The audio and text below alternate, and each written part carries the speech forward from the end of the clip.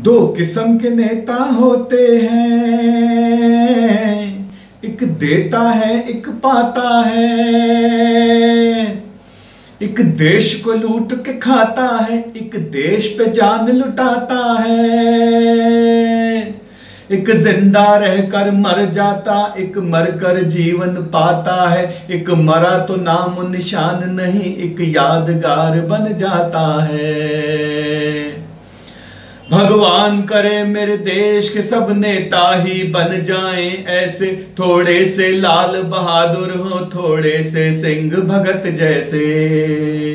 राम ना करे मेरे देश को कभी भी ऐसा नेता मिले, जो आप भी डूबे, देश भी डूबे, जनता को भी ले डूबे।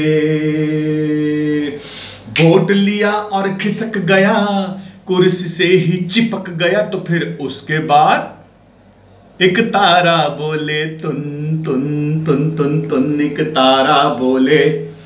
तो दोस्तों, मेरी आप सबसे गुजारिश है कि वोट करें, सही उम्मीदवार को करें।